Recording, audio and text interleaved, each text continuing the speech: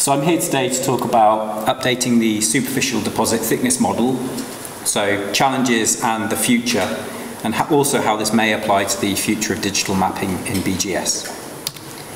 So firstly I'm going to talk about what a superficial deposit is and what the superficial deposit thickness model is, the previous workflow and why it's a challenge to then release a new superficial deposit thickness model on a regular basis, a new data processing pipeline, which is remarkably similar to the old one, but with a lot of new technology, um, and then the potential future of the SDTM and our remaining challenges.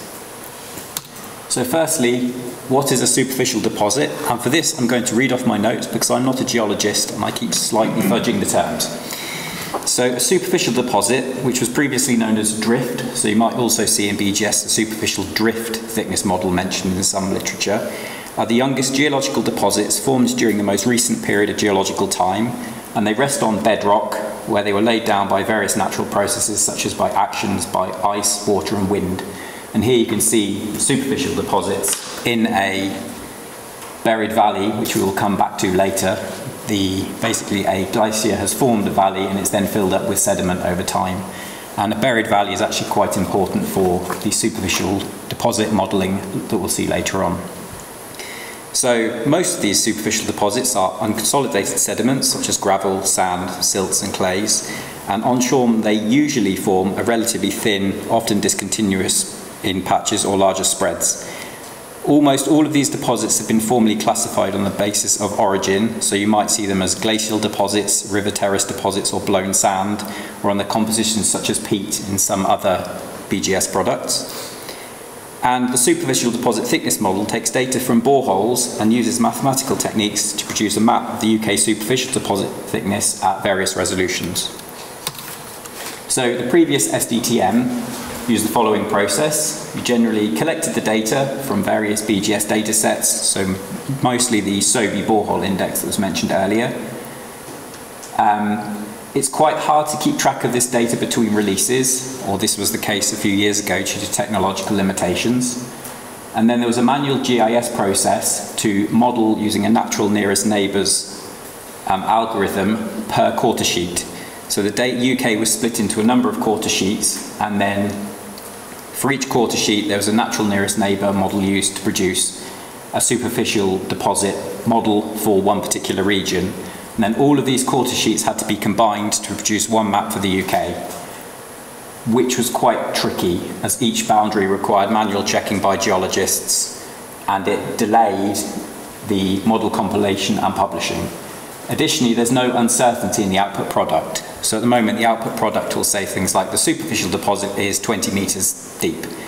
And if a civil engineer uses that, and there aren't that many points nearby, it may not be as accurate as they're expecting.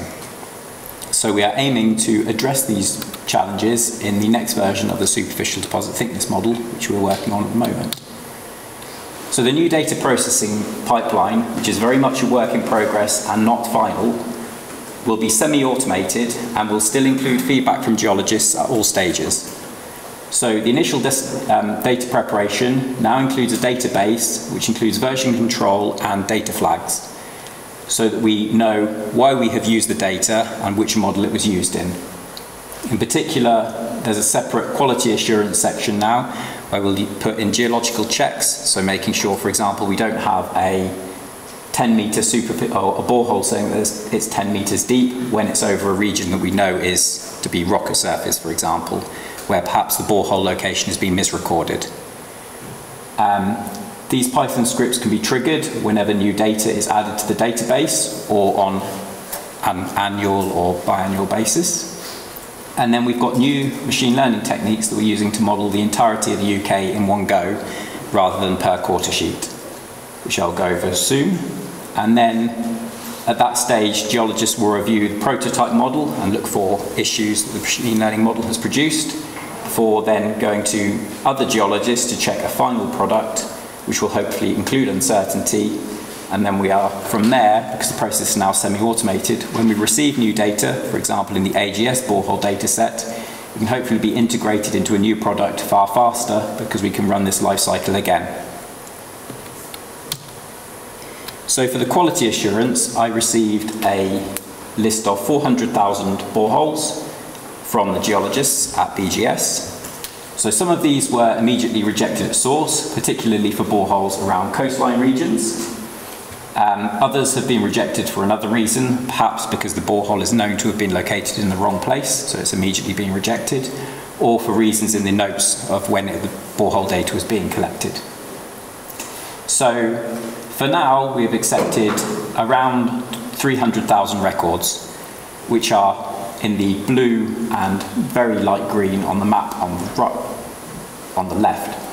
Um, but there are still regions where there are very sparse data points, for example in the Highlands of Scotland and some parts of the southwest and indeed parts of Wales. But we have used some new rules in this quality assurance step to try and accept more boreholes to allow them to be modelled. So using a new hidden valley product from BGS, we have said that if a borehole is deeper than 30 metres, and there is hidden valleys, it can now be accepted into the data set, whereas previously it may have been rejected until it was then checked by a geologist and incorporated into the model. So with the 300,000 data points we now have, we look at ways of modelling superficial deposit across the UK. And this is the result from a current, very prototype model, where we trained it on the eastings and northings, the elevation, uh, DTM, uh, one hot encoded quaternary domain information and the distance to the next nearest borehole. One hot encoded quaternary domain is just basically a yes or no answer as to what type of rock um, the borehole was located on. So if you had, for example, three columns and it said igneous, metamorphic and sedimentary to be very, very basic, if it was located on a sedimentary rock, then there would be a 1 in that particular column and zeros elsewhere and our target variable was to model the rockhead borehole depths only. Now BGS do have other depths, terminal depths available. For now we've just used rockhead, where we've got confirmed rockhead from a borehole. And we used a quantile gradient boosted tree to produce both the map you see here on your left um, and also an uncertainty map, which is not yet completed. Now, looking at the map, there are some immediately fairly large problems, one of which is the depth is not as great as we would expect, particularly in Norfolk, where there are a lot of buried valley regions, which you'll see on the next slide. But also we have a lot of banding present in the map. And this is wherever we have a DTM boundary, because it is still divided by quarter sheets. And we're aiming to change the DTM we're use, using to another BGS-derived product um, in October. So one of the largest remaining challenges we have is that the current prototype model is very heavily underestimating the superficial deposit thickness, particularly in Norfolk or where, anywhere else where there's a buried valley.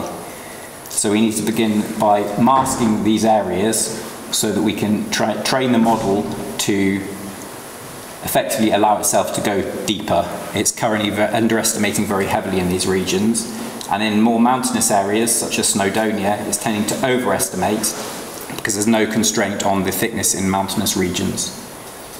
So we are incorporating further geological rules to retrain the model on that. We're trying to remove subjective rules in the exclusion of data sets, such as estimates for older records. At the moment, we've tended to assume that if the first 50 boreholes within a quarter sheet are generally older records and may not be more, or may not be as reliable due to older measurement techniques. And this isn't always true. So we're trying to think of a way of more effectively identifying what is a good borehole record using quantitative rules rather than qualitative. Um, removing the banding, as I mentioned, by changing the DTM, and also improving the uncertainty and how to present uncertainty, especially in low borehole density regions. So one potential option for this is instead of presenting a specific value, say 28 meters, we may present a range of values on a map saying this is between 25 to 30 meter depth and not give a specific value. The alternative is we keep with using specific values for regions, but then provide an uncertainty map to go alongside the superficial, superficial deposit thickness map model. So to summarise, there have been previous issues, mostly due to technological limitations with the previous superficial deposit thickness model, it being hard to update, mostly manual process, and it was difficult to track why certain data decisions had been made and which boreholes to use in the model. So we've come up with a solution that's in progress for semi-automated data preparation, quality assurance and modelling, and then maintaining input from geologists at each stage, and quantified rules around data preparation and quality assurance. The remaining issues are quantitatively identifying less reliable SOBI records.